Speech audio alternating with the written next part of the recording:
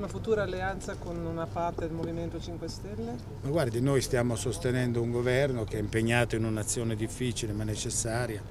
Una grande forza politica deve essere chiara con i cittadini, con gli elettori e noi lo siamo, quindi questa è la nostra scelta. Se si dovesse prospettare una maggioranza alternativa con eh, Berlusconi dovesse ritirare il suo appoggio al governo con una maggioranza alternativa con i grillini Questa è una, eh, come si chiama, una condizionale di terzo tipo e quindi è inutile ragionare di ipotesi molto molto astratte.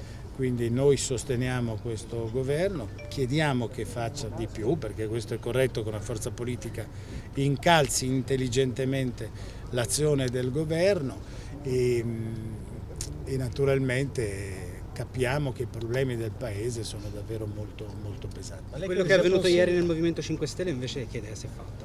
Ma guardi, io insomma, vedo che c'è una grande discussione interna, ci sono misure prese nei confronti di chi ha espresso delle critiche, io rispetto sempre la discussione delle altre formazioni politiche, difendo anche la libertà di pensiero e di critica.